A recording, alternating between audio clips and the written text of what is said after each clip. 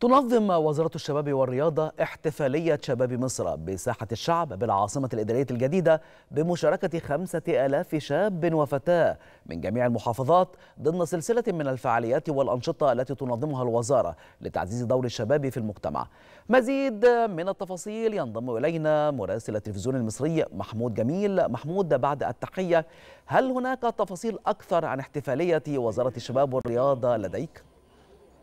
تنسيقية شباب.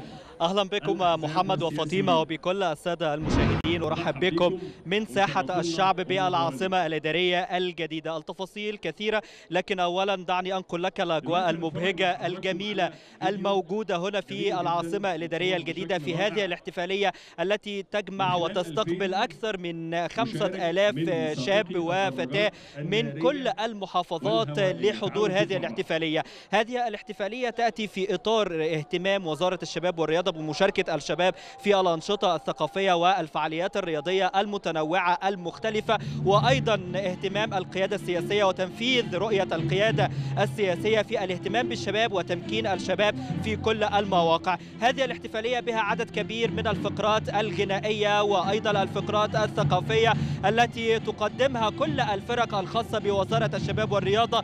منذ قليل قدم فريق كورال أطفال وزارة الشباب والرياضه بعض الفقرات الغنائية الجميلة في المسرح. وهنا الحضور وزير الشباب والرياضة وأيضا ممثلين عن تنسيقية شباب الأحزاب والسياسيين وأيضا يعني المسؤولين عن العاصمة الإدارية الجديدة.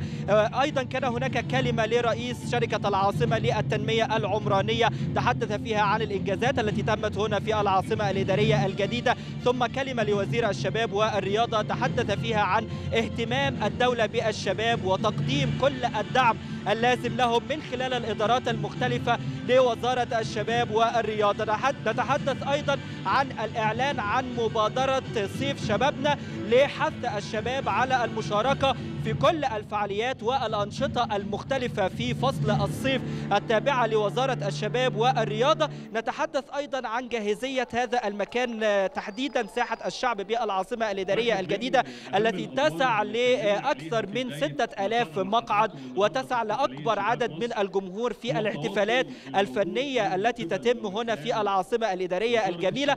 أيضا تحدثنا مع الشباب الجميع يرحب وسعيد وفخور بما تم على أرض العاصمة الإدارية الجديدة من إنجازات في المشروعات العمرانية ومشروعات التنمية بالإضافة إلى اهتمام القيادة السياسية بالشباب والعمل على تمكينهم وتقديم كل الدعم المختلف لهم سواء هنا في الجمهورية الجديدة أو حتى في كل المحافظات من خلال البرامج المختلفة لوزارة الشباب التي تدعم كل الأفكار المختلفة للشباب. وأيضا هناك نماذج كثيرة على هذا المسرح نموذج للمجلس النواب محاكاة لمجلس النواب وأيضا البرلمان الخاص بوزارة الشباب والرياضة. فنتحدث عن وجود عدد كبير من الشباب والفتيات هنا في العاصمة الإدارية الجديدة أجواء مبهجه أجواء كلها تدعو إلى الفخر والسعادة بما يتم للشباب في هذه المرحلة تحديدا وفيما يتم في العاصمة الإدارية الجديدة. هناك عدد أيضا سيكون في نهاية هذا الحفل اليوم